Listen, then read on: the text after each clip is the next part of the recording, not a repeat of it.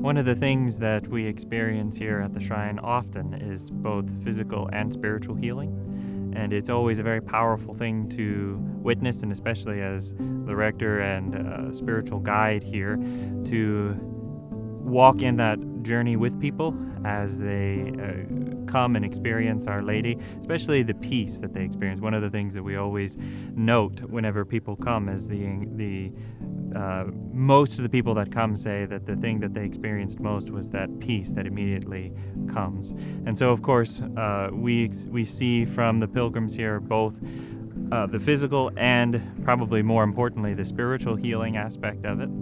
we get uh, many, many pilgrims who come and say that they experienced some type of favor, some type of gift. Uh, maybe it was an, an, actual physical healing, which is always, of course, uh, something very fantastic, something very good that we enjoy uh, seeing people experience that. But then also, I would say, probably, and probably even more for myself, the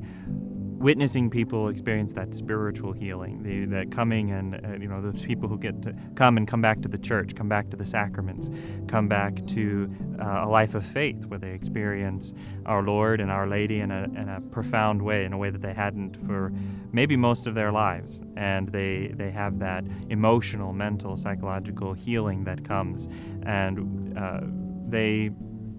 record that as uh, you know something that is an extremely powerful um, memory for them here.